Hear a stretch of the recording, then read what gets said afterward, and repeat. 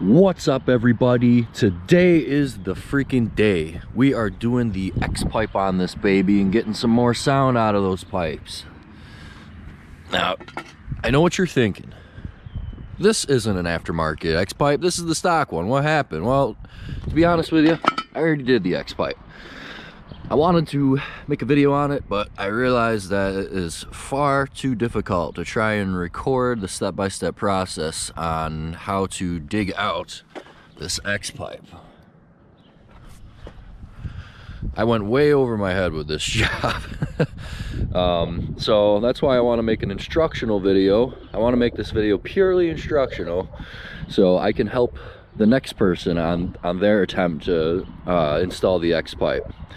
I had a couple hands to help me and uh, I had way more tools than I thought I was gonna need. So yeah, let's get into it. The, the point of this video is to show you which bolts to loosen up at what point. So you can use my video in combination with Adam's to help you with this. I'll start off by uh, showing you all the tools that I used. Um, you're gonna need full set of Torx bits, Ins inserts would be great. Wrenches are fine. Um, you're gonna want metric and standard Allen wrenches. Um, you're gonna want like T-handles. You're gonna want ones like this, short, long. Just try and have as many tools as you can because although I completed the job with what you see here, it was a royal pain in the butt and with some better tools it would have been much easier on me but anyways you're gonna want full set of these wrenches metric and standard. Um, even ones with the little ratcheting end to it, that would be ideal for this job because there's going to be points where you're just going to be getting a quarter turn at a time. Um, full socket set. You're going to want a specialty tool, aka your 10 millimeter. All right, first thing you're gonna need to do is take off that seat. Um, one thing that I did not realize when attempting this job is that there is no physical way to get that X-pipe out of that bike um, with the frame where it is. This frame right here, you're gonna need to displace that. Um, we're gonna need to loosen that up. Not remove it, but loosen it up to give you some wiggle room so you can you can wiggle the X-pipe out of there. So first thing you're gonna wanna do is take off the seat and you're gonna wanna take off take out this bolt. This bolt is the only one that is holding the gas tank on there. The tool you're gonna need for that is a 10 millimeter. So get your 10 millimeter out and slide this whole bolt loose. Um, once you have freed the tank, the reason we had to do that is because of this bolt right there. Um, so once you get that bolt completely loosened up, all you're gonna wanna do is have a friend or somebody help you slide this tank back. You can wiggle it back to expose this bolt, which we're eventually gonna need to loosen up. So once you do that, you're gonna bust out your Allen wrenches and I would start by loosening up the this bolt right here. I believe that's like an eight what is that? It's a 10. It's it's a 10 millimeter Allen. You're gonna want to loosen that up. Um, you're also gonna want to loosen these two bad boys up right here. Um, these two bad boys hold the frame to the engine here. So um, you're gonna want to bust out your Torx wrenches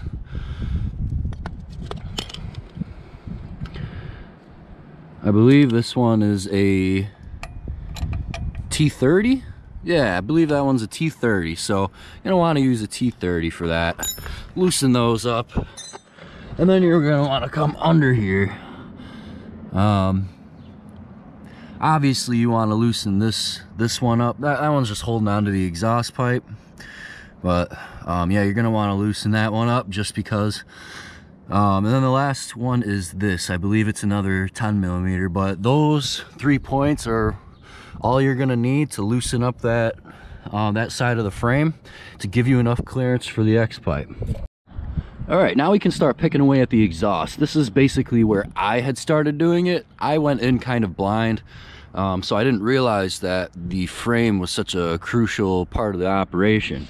So anyways, you're gonna wanna start with these guys right here. So first thing you're gonna wanna do is loosen this bad boy up right there.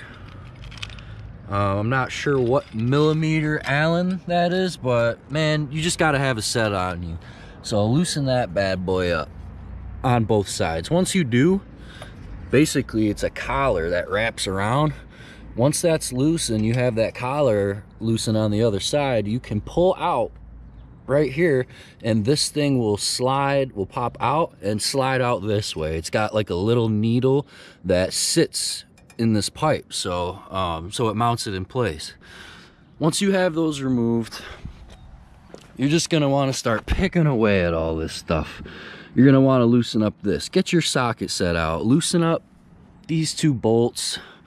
Um, also there's two on the other side you're gonna want to get in there with some of your wrenches. Like this right here you're to want to take care of that bolt. That's at eight millimeter. You're to want to loosen that up so the cross pipe up top can be separated. So you're to want to loosen that up. Um, this is a collar that that comes apart in two pieces.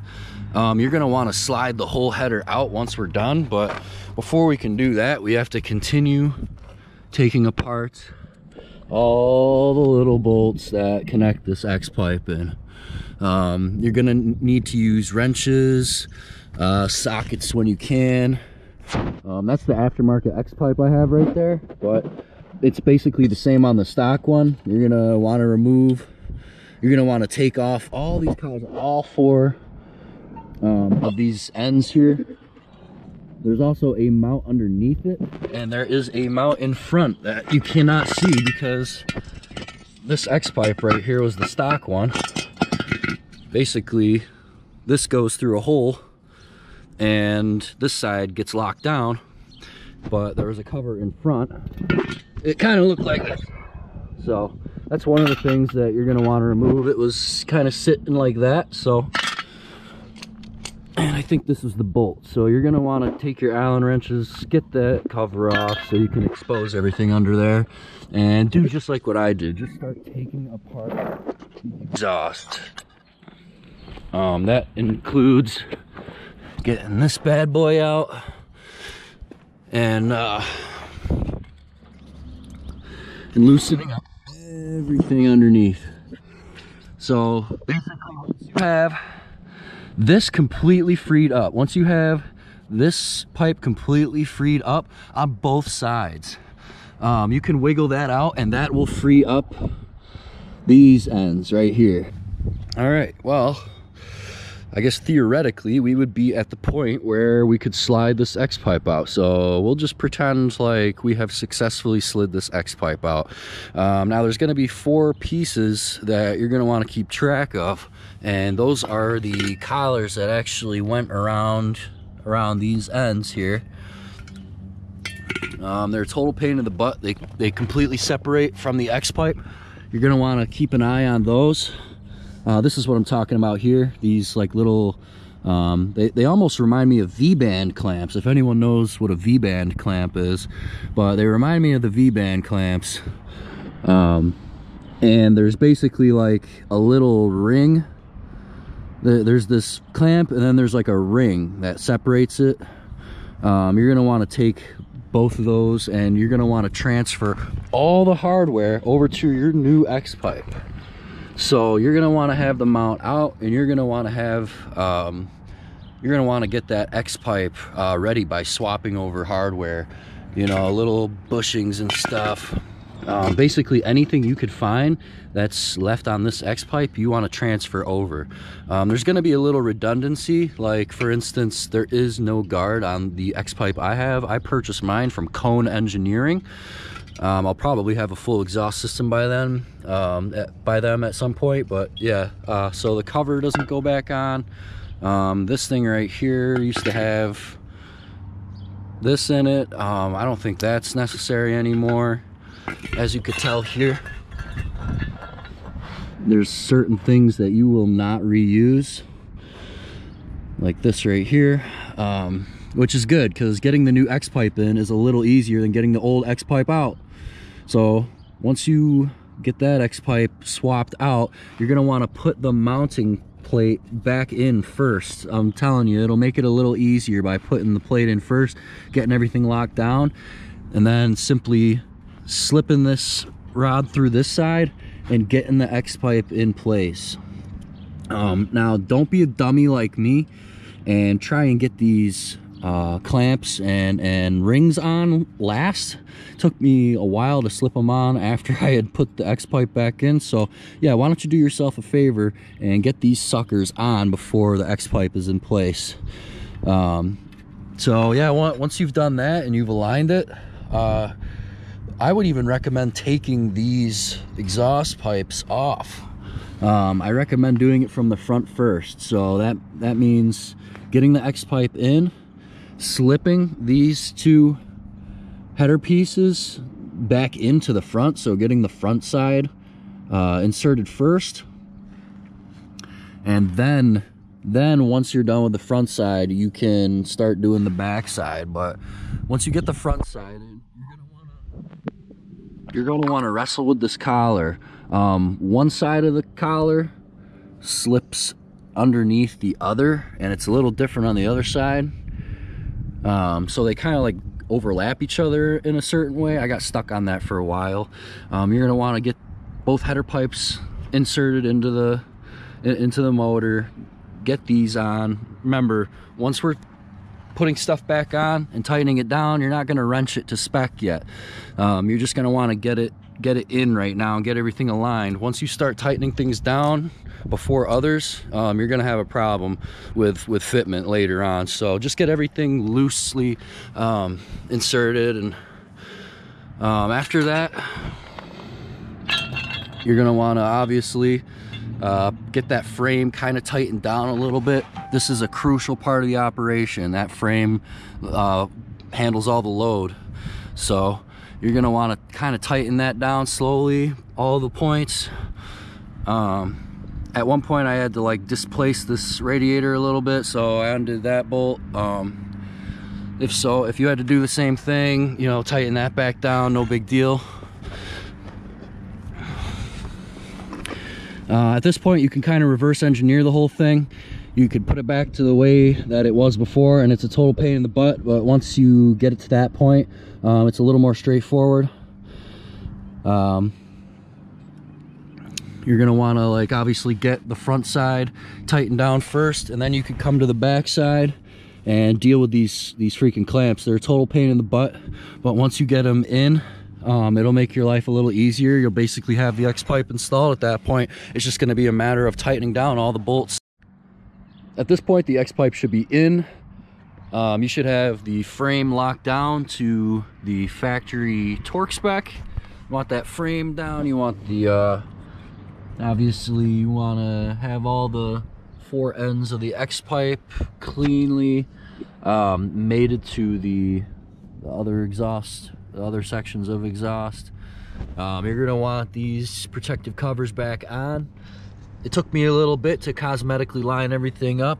As you can see, there's kind of a little seam on either side that this cover um, will hide. So uh, the first time I aligned all the pipes, this one on this side, one on the other side, um, the first time I aligned these pipes up, they didn't quite match and one side was a little janky. So you're gonna want to make sure that this whole thing is straight looks nice um, want to make sure all your mounts are locked down want to make sure everything is is torqued down to spec including this crossover pipe the radiator you want to double check everything have your friends help you slide the tank forward um, you want to get that bolt back in there. Basically just reverse engineer the entire thing. It's much easier getting the new X-pipe uh, on. So um, I'm sorry this video wasn't very helpful visually. Um, like I said, I attempted to record my process and um, I bit off more than I could chew. It, it would be way too difficult to record every step-by-step process that I did because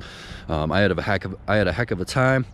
It should have been like maybe an hour and a half job, and I turned it into a four-hour job. So um, that's why I wanted to make this video, and I wanted to point to all the bolts that you're gonna want to loosen up.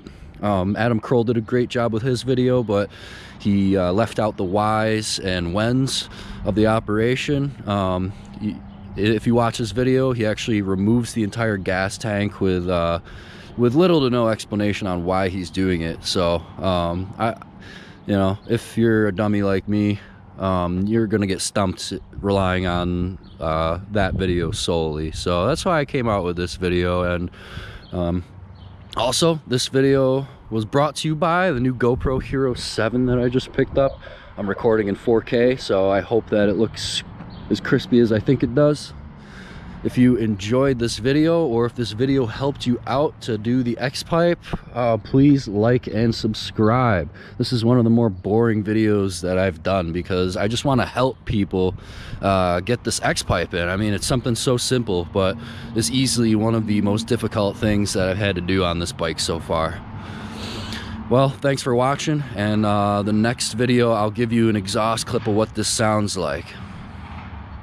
Peace.